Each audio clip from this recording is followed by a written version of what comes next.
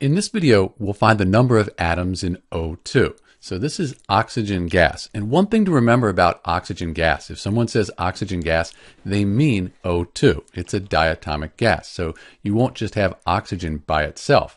Of course, you might have something like H2O, but the oxygen here, it's bonded to another element.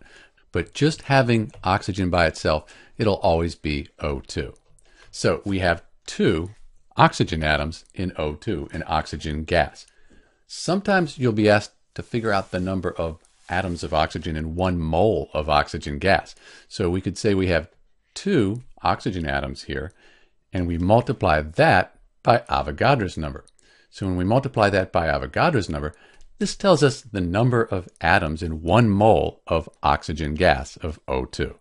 Again, remember, it's going to be O2 if it's by itself, but if it's bonded to another element like carbon monoxide, then you can have just one oxygen. Or the carbonate ion, you could have three oxygens there in the carbonate ion. This is Dr. B with the number of atoms in O2 oxygen gas. Thanks for watching.